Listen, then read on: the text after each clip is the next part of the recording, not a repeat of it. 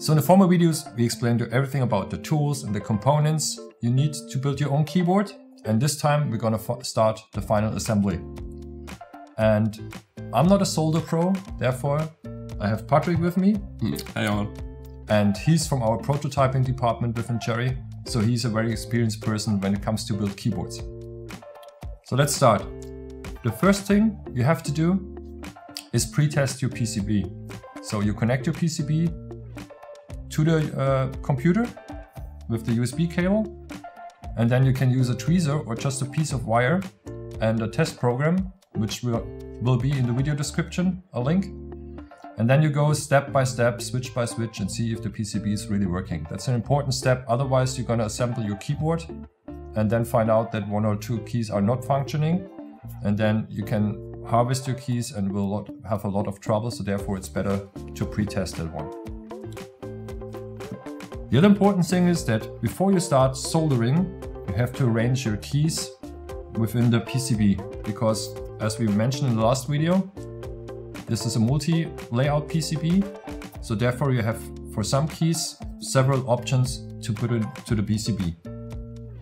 So the easiest thing is that you're gonna do it with your keycaps and with the frame. So let's go, let's start. So what we did here is we put in some keys for the bottom row. Choose the right spacebar because at some point there are different sizes. Assemble the keys and test it with the frame if the position is the right one.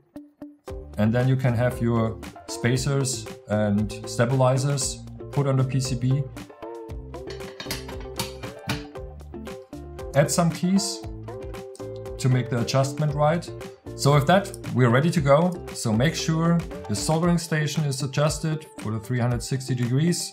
Your frames are there, your switches, your solder. So all the tools are ready that you can start the process. And now, Patrick, it's your turn. Assemble the keyboard. Yep, let's start.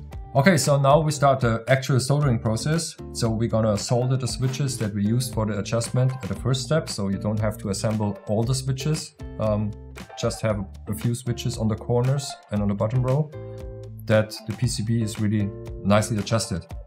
The one important thing is that when you assemble the first switches, you press down the PCB, that there is no spacing between the switch and the PCB, otherwise you will be in trouble on the later switches. And then you can uh, start with your first soldering. So you heat up the switch or you clean your soldering equipment.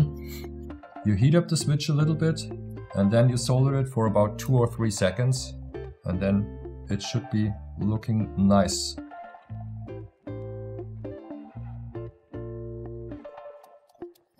And then you clean again your soldering equipment and then you can continue and assemble all the switches in a row. So when you solder the switches, it's really important that you heat up the pin of the switch itself and the PCB and then attach the solder. Like Patrick is showing us here. And don't be afraid about the little fluid that's outside so you can clean it with alcohol if you want to, but you can leave it as well, it doesn't hurt. And during the soldering, Please make sure that the windows are open, that uh, this steam is not that healthy, so there should be enough fresh air in the room. So Patrick is showing us now the perfect amount of solder. So the pin should be covered, but there should be no uh, bulb around it, so don't put too much on it.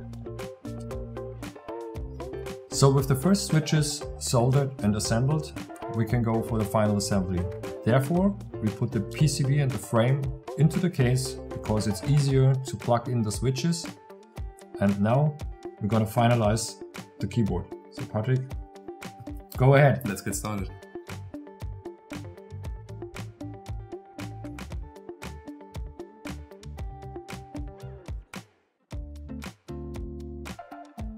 So with all the switches in place, we can start with the final soldering process. So we take out the frame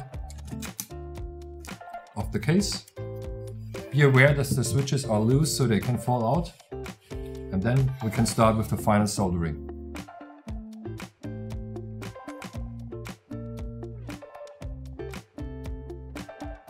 So we assembled all the switches, we have been soldering all the switches, it's now time to put it into the case and make a final product. And afterwards we're gonna put the keycaps on to make it really look nice.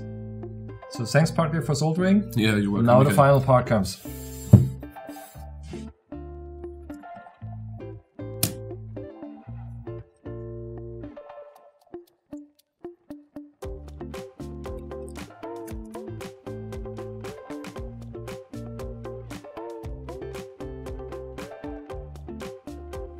And now it's time for the final step.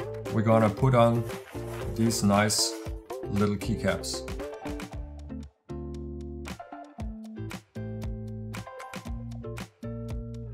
So with the keycaps, we finished all the assembly. Thanks, Patrick. You're welcome. And thanks to our partner Candy Keys and GMK for making this video possible. On the next step, we're gonna do the programming of the keyboard because some of the keys are very special and you have to adjust it with the firmware. So stay tuned for the next video. Thank you. Bye.